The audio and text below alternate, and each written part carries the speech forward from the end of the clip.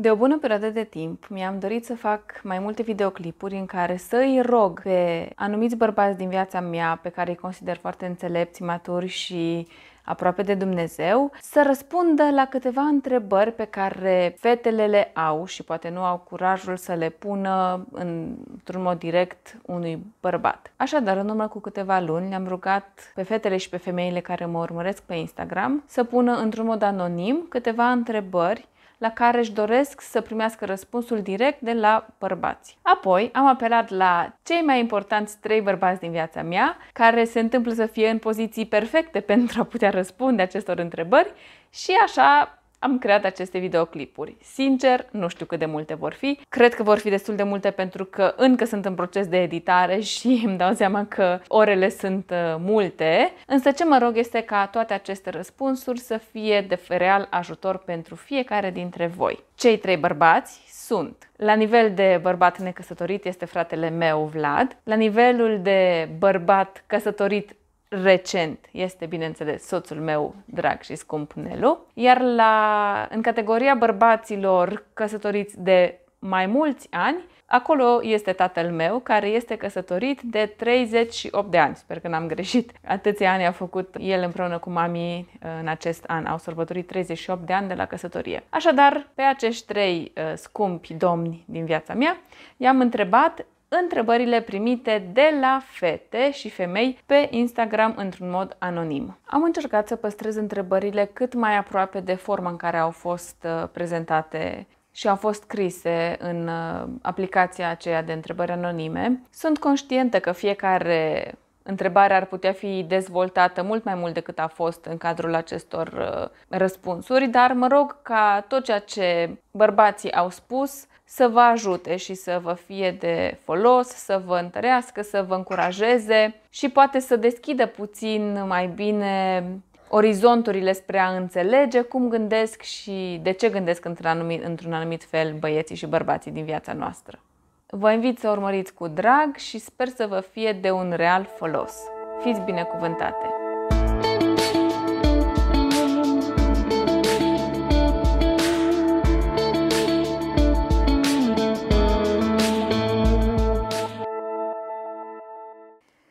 Care este motivul pentru care mulți bărbați nu sunt preoți în casele lor? Cum ar putea ajuta soția în acest domeniu și care este rolul concret al soțului când vine vorba de domeniul spiritual al familiei sale?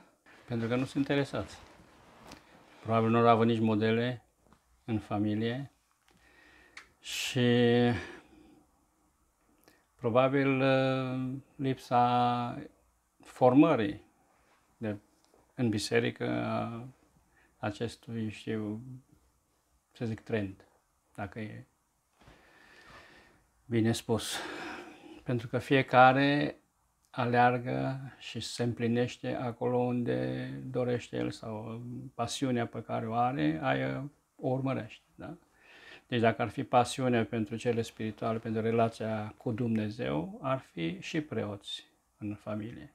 Bine, ce deci, înțelegi prin preot? Păi preotul ce slujbă are un preot? Preotul trebuie să vină înaintea, intermediarul între Dumnezeu și om, sau între, el e intermediar între Dumnezeu și familie. Da? Păi el trebuie să vină înaintea lui Dumnezeu cu problemele familiei și să vină înaintea familiei cu mesajul lui Dumnezeu pentru familia lui. Deci asta ar trebui el să urmărească. Ce are Dumnezeu pregătit sau ce vrea pentru familia lui, cu privire la el ca soț, cu privire la soția lui, cu privire la copiilor.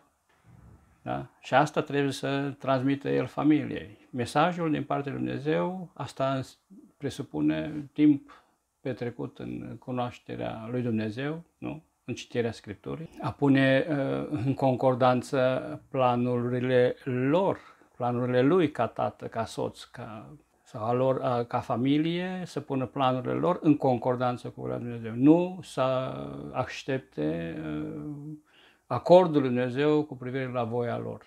Eu cred că termenul de preot în casă nu e tocmai biblic.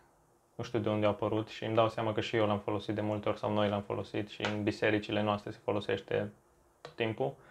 Dar nu apare în Biblie efectiv combinația asta de preot în casă. Preot are sensul ăsta de mijlocitor, adică are mai mult decât ce trebuie să fie bărbatul în casă. Bărbatul are rolul să fie cap, e clar că trebuie să fie un lider și textul, de exemplu, din 1 Corinteni 14, când e vorba de prorocii, când uh, Pavel zice ca femeia să nu vorbească, ci să-l întrebe pe bărbat acasă, cumva putem trage de acolo concluzia că bărbatul, soțul, trebuie să fie pregătit pe partea asta spirituală, trebuie să fie pregătit în cunoașterea cuvântului, în discernământ, ca să poată judeca anumite lucruri, să poată explica anumite lucruri soției lui, familiei lui. Dar efectiv termenul ăsta de preot în casă cumva are prea multă greutate pentru ce ar trebui să fie un bărbat, un soț, părerea mea. Nu știu sigur dacă e așa e sau nu e. Dar noi avem pe Isus ca mare preot și mai e și treaba aia cu, sau textele cu împărăția de preoți, în care și, practic, și bărbații și femeile, toți, tot, toți oamenii sunt împărăție de preoți, nu? Da.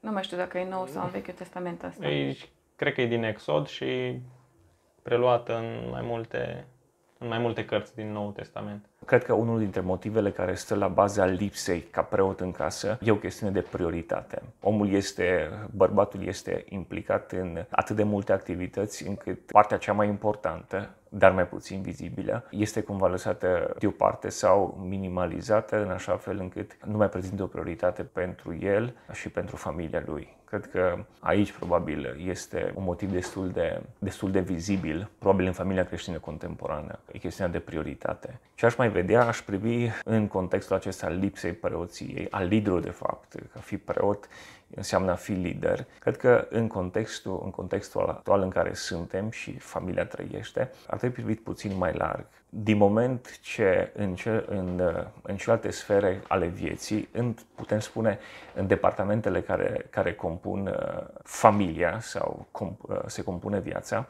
dacă în celelalte departamente, în celelalte sfere, omul, uh, bărbatul, este mai puțin lider, mai puțin implicat în această poziție de, să spun, putem spune, de autoritate, de cel care, care conduce, de conducător, cu siguranță lipsa în celelalte sfere va condiționa sau uh, va determina și uh, puținea sau lipsa implicării în acea parte mai puțin vizibilă, cum am zis, dar foarte importantă în viața familiei creștine. Deci, Uh, trebuie să avem grijă la chestia asta de preot în casă, pentru că pentru soție, pentru femeie, aduce anumite așteptări care poate nu sunt neapărat rolul bărbatului. Adică toți din familie, fie că e vorba de soție, fie că e vorba de copii, au acces direct la tatăl. Mijlocitorul nostru Isus. E clar că bărbatul trebuie să fie un lider și trebuie să aibă anumite roluri clare, adică, na, și mie mi se pare normal, dacă ești soț, când apare o problemă în familie, tu să fii primul care te rogi, tu să fii primul care cere ajutorul Domnului, tu să fii primul în direcția asta, spiritual vorbind. Da, nu știu.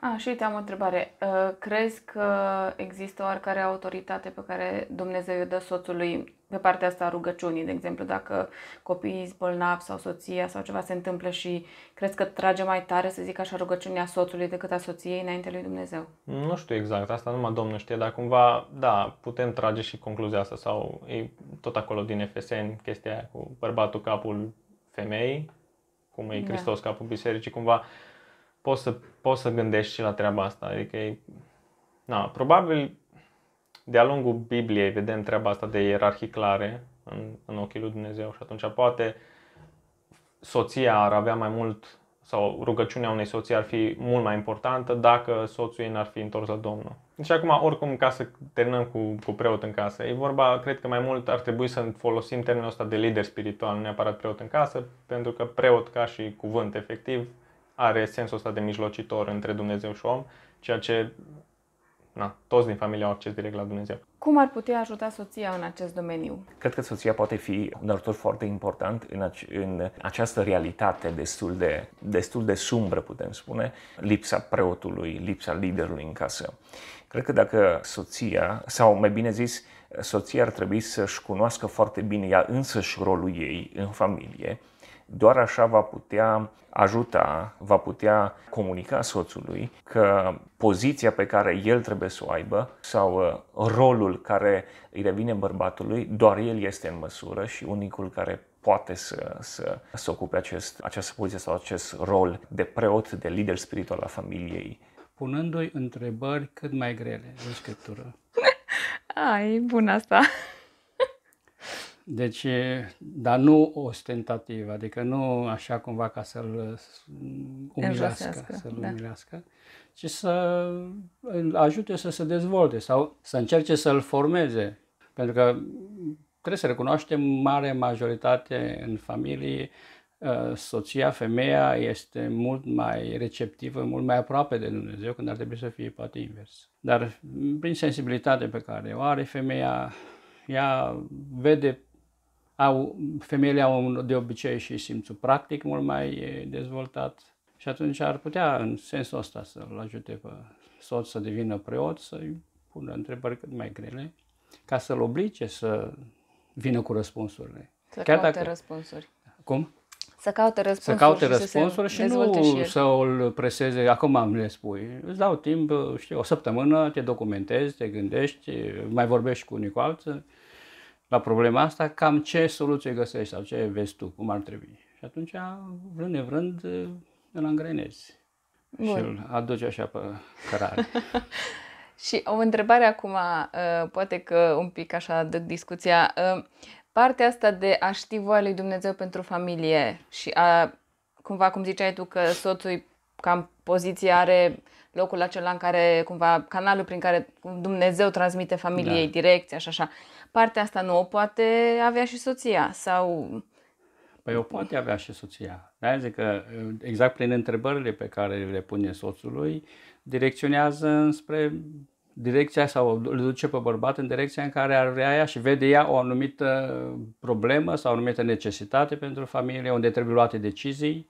Nu neapărat că Dumnezeu nu poate vorbi famie, uh, femeii direct, dar uh, na, e bine să vină cumva Da, ideal ar fi să fie cu- prin Ideal soț prin mai mult, soț adică mai el să mult, fie da, da. liderul care să Deci dea o o- direcție. soția dacă vede o anumită problemă sau o anumită, uh, știu eu, inspirație are ea din partea lui Dumnezeu cu privire la mersul familiei, e bine să-l împărtășească soțului și să caute uh, rezolvare sau răspunsul împreună. Dar punctul final, soțul ar trebui să-l ia. Să zică, da, facem așa. Ce ar putea face soția? Să-l încurajeze de fiecare dată când el are o inițiativă să răspundă pozitiv. Adică dacă pe el îl apucă la un moment dat, hai să ne rugăm, îi spune ei, hai să ne rugăm, indiferent de ce situație e în jur și indiferent de cât chef are ea sau nu are, să, să fie atunci disponibilă și cumva cu timpul poate se a, ajunge să se dezvolte și o, nu știu, o ritmicitate în treaba asta.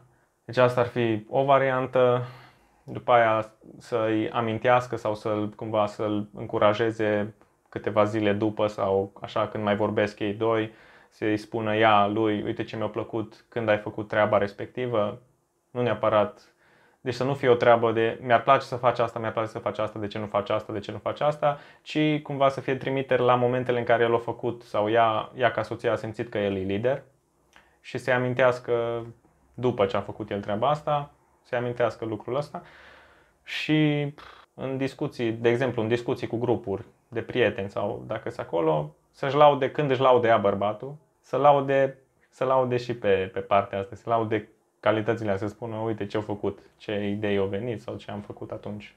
Da, deci ajută mult asta, încurajarea asta. Da, dar cumva să fie o încurajare sau, na, adevărul e că e riscul ăsta, dacă, dacă soția își dorește ceva de la bărbat și el nu face treaba asta, e riscul ca ea să ajungă la un moment dat cicălitoare în direcția aia. Și atunci, de aia zic, să fie laude sau să fie aprecieri pentru ceva ce s-a întâmplat în trecut, ca să nu perceapă el ca o tachinare continuă, ca o cicălire chestia asta și cumva și dacă ar avea intenția la un moment dat și dacă i-ar veni numai de ciudă să Da. nu mai facă, că toată ziua e, e broiat pe treaba asta. Da, ideal, oricum, na, în mod normal lucrurile astea ar trebui văzute și înainte de căsătorie, adică da, nu te rogi din prima, de la prima întâlnire, nu te rogi împreună sau așa, o lași, poate te leagă rugăciunea împreună, te leagă prea repede, dar poți cumva să vezi viața lui în perioada Da. asta de logodnă sau înainte de logodnă, în perioada... Acum, oricum, dacă un băiat e matur spiritual sau încearcă cel puțin să se dezvolte pe partea asta, se observă în, într-o relație. Da, Adică na, oricum, observi. acum situații și situații. S-ar putea să fi fost în, în perioada de curtare și la începutul căsătoriei să fie mai prezent pe partea asta și din cauza oboselii sau din cauza nu mai știu eu ce Da, s-au stres, întâmplat, s-au întâmplat pe toate cele. Exact. Nici nu putem separa sau trage niște linii foarte clare și spunem că doar bărbatul este cel care îndeplinește această, această sau are această misiune, această chemare, acest rol și soția cumva nu ar trebui să implice aici și o ar vedea împreună lucrători și responsabili în tot ceea ce ține viața de credință în relație cu Dumnezeu, viața de credință a familiei sau uh, poziția lor ca familie față de Dumnezeu. Și atunci următoarea întrebare era care este rolul concret al soțului? Ce face concret soțul când vine vorba de domeniul spiritual? Da, cred că soțul este omul responsabilizat de Dumnezeu în a ocupa această, această poziție de, de lider, de preot în familie.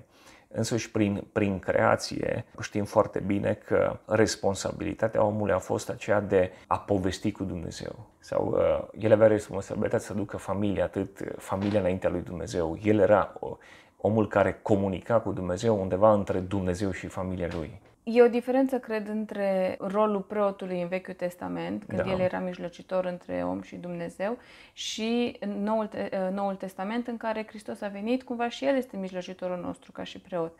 Și atunci nu e un pic uh, greșit să zicem că rolul soțului este de un fel de mijlocitor între familie și Dumnezeu, când de fapt Hristos este cel care mijlocește și cumva și eu ca soție am acces direct la Dumnezeu, nu mai trebuie să trec prin tine ca să ajung la Dumnezeu. Cu siguranță când, când vorbim despre a avea acces la Dumnezeu, atât bărbatul cât și femeia sunt uh, egali sau au aceeași trecere, aceeași deschidere. Dar când uh, privim în uh, Nou Testament, structurile de autoritate sunt, f- uh, sunt așezate într-un mod foarte clar și vizibil. Și Apostolul Pavel spune că mai întâi este Dumnezeu, Hristos și bărbatul. Vorbește despre cap, despre autoritate, sub a cărui autoritatea bărbatului este așezată familia, femeia, mai apoi copiii. De aceea, același principiu care a fost în Vechiul Testament, îl regăsim și în Noul Testament, dar în același timp familia beneficiază de o relație personală personală cu Dumnezeu, dar în același timp fiind așezată sub această autoritate nu de comandă, ci putem spune de binecuvântare, de protecție, de autoritate, călăuzire pe care bărbatul o are asupra familiei lui. Da, sunt de acord, doar că aș face, aș face un pic Aș face un pic o diferență între rolul de preot și rolul Da. de lider. Nu e același lucru din cum văd eu lucrurile. E un pic diferit pentru că dacă mentalitatea omului sau a femeilor, să spun așa, da, mă iau acum eu ca și fată, femeie, dacă mentalitatea mea ca soție este că soțul meu este preot și în mintea mea preot înseamnă omul acela care a- face legătura între familie și Dumnezeu, mijlocitorul respectiv, atunci dacă soțul meu nu îndeplinește rolul acela pe care mă aștept eu să-l îndeplinească, cumva mă simt că eu, n-am, ni- eu sunt prins într-o capcană, sunt așa, cumva n-am, nu am nicio șansă să fac ceva.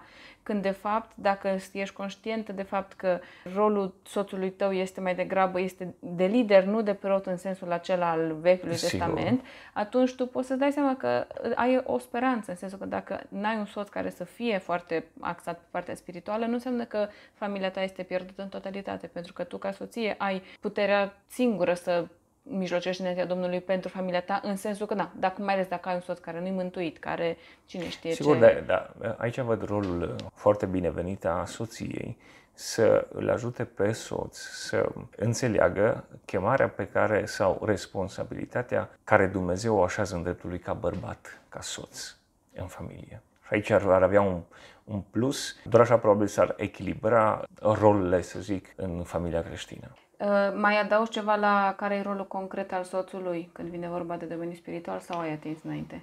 Cred că cel mai important rol e, din nou, în Biblie e scris foarte clar, Efeseni, să-și iubească soția cum a iubit Hristos biserica. E un rol, chiar dacă e așa legat de emoții sau de sentimente sau de acțiuni, nu e neapărat N-ai, unii ar putea să spună că nu e un rol spiritual, dar părerea mea că e un rol spiritual ăsta, cel mai important pe care îl are bărbatul. Și e clar, din moment ce el trebuie să fie un lider, trebuie să crească tot timpul în, în cunoașterea Scripturii, în cunoașterea lui Dumnezeu, în disciplinele spirituale. Oricum noi avem treaba mai grea decât voi, noi trebuie să fim ca Isus, voi numai trebuie să fiți supuse. da, cam așa ceva. Da, e adevărat că de multe ori, apropo și de rolul ăsta, acum trecem un pic la altă treabă, dar uh, multe femei zic chestia asta, că vai, că de ce trebuie să fie supusă ca și cum că asta ar fi o corvoată, dar nu se gândesc la faptul că soțul, pe poziția asta de are mult mai multe responsabilități din punct de vedere al poziției de soț și tată și da. așa în familie. Adică nu are privilegiile astea în care gata, toată lumea îl ascultă, ce mm, trece dincolo de privilegii, să spun așa, și duce spre o foarte mare responsabilitate. Da, și Dumnezeu, dacă îl pune pe el cap, înseamnă că și de la el are mai multă, adică ca și treaba aia, ai fost, ai fost pus peste câteva cetăți, înseamnă că da, cu cât cu cui cu cât se dă ai, mult, da, se cere exact, mult. sau asta mai da. degrabă nu ai cu cetățile. Da, da, cui, da. Se ce, cui se dă mult, se cere mult. E clar că dacă tu ești cap, Dumnezeu o să ceară mai mult, adică o să te ia la rost, să zic așa, da. pentru mai multe. El uh, ia la urmă decizia, deci cum ar veni, responsabilitatea și responsabilitatea deciziei luate cade pe umerii lui. Deci el nu poate să arunce vina pe soție. A luat decizia asta, E responsabilitatea mea și trebuie să fie conștient că na, răspunde în primul rând în fața lui Dumnezeu. Deciziile pe care le ia și de mersul pe care, sau direcția pe care o dă familiei. Mai atât cum am spus că dacă lipsește în cealaltă sfere ale vieții, putem referi în uh, responsabilitățile pe care bărbatul le-a avut în Vechiul Testament prin creație. Există un termen în ebraică de, care spune ish, vorbește despre bărbatul, persoana ca mascul, bărbatul ca mascul, uh, persoana masculină. El era responsabil pentru familie, soție, copii, ceea ce, ceea ce compune familia, el trebuia să fie un bun gospodar, un bun agricultor, un bun ostaș, unul care păzește, unul care, om puternic, un om care deține proprietăți, un om care se ocupă și se preocupă în același timp de partea financiară. Susținerea aceasta financiară De susține financiară a familiei și mai apoi acea de profet, de om care reprezintă familia înaintea lui Dumnezeu când în departamentele amintite, sferele amintite, agricultor, cel care întreține familia, ostaș, cel care păzește familia, aici bărbatul în societate sau în contextul actual, aici dacă nu se regăsește în, ca fiind lider sau nu își exersează poziția ca fiind lider, cu siguranță n-ar trebui să fie așteptarea sau acea așteptare a unui bun lider spiritual, profet, când în celelalte sfere ale, ale existenței el este absent, este cumva, a făcut cumva un pas în spate.